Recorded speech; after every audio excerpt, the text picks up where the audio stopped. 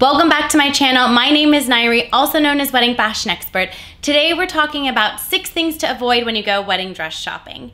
Before we dive in, please be sure to give this video a thumbs up, subscribe to my channel, and drop me a line, write a message down below of anything else you wanna see or hear about. Here we go.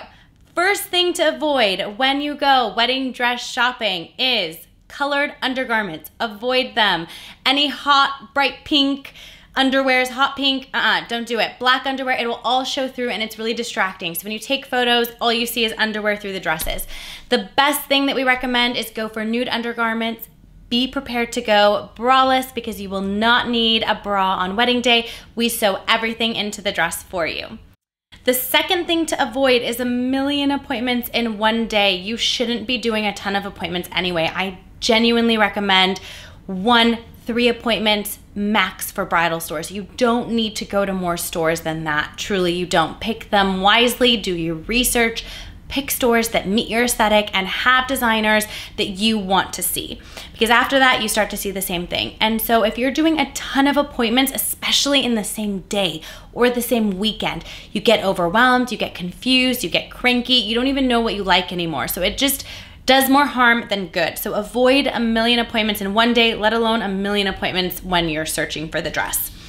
Eat before your appointment. So many brides want to starve themselves because they want to be as skinny as possible or they just don't want to be bloated. Don't do that. If you're hungry and hangry, it doesn't serve anyone. So please eat. If you don't want to eat a big meal, I get that. You don't want to feel lethargic or super bloated after eating, but eat so that you're happy and you're comfortable yeah, hangry things are not, you're just not going to be productive. It's a waste of everybody's time in, in, in, that regard if you're not eating before your appointment. The next thing that you want to avoid is shopping if you're in a bad mood.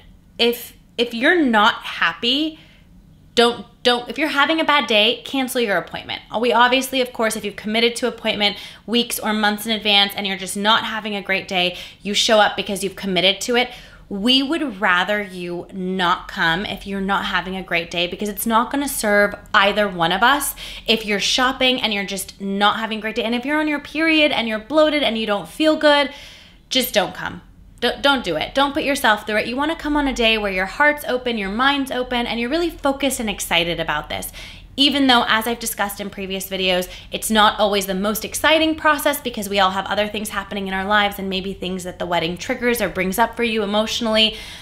But if you can and you're not vibing, don't come in. It's just, it, doesn't work out well for anyone. All right, the next thing that you want to avoid is taking endless amount of photos. I highly recommend that you just take photos of the gowns that you actually are considering to wear on wedding day. Don't document every single dress in a photo. It confuses you, it's TMI, it takes time away from trying on more dresses. If you think about it, you can try on as many dresses in an appointment as you want. It's how quickly you get in and out of them.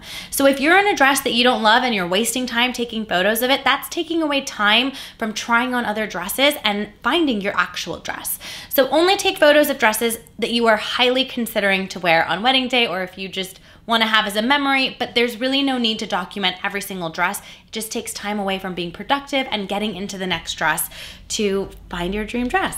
The last number six wedding dress shopping thing to avoid do not show up without your hair and makeup done. You want to show up to your appointment feeling pretty. You just want to feel pretty. That's why I was mentioning if you're bloated and you're just not feeling good, don't do it. You also want to feel pretty. So if your hair and makeup aren't done, usually it's really hard for people to look past that. So I highly recommend it. Another thing that I want to add in here a lot of brides want to wait until they get to their goal weight before they start dress shopping. So they prolong the process of shopping until they get to their goal weight. I do not recommend this. I highly, highly recommend you coming in even if you are not at your goal weight. Because if you find a gown that you love on your body, when your body isn't at your best, where you feel the most confident in, you're only going to like that dress even more when your body does make the shifts that you want to make with it.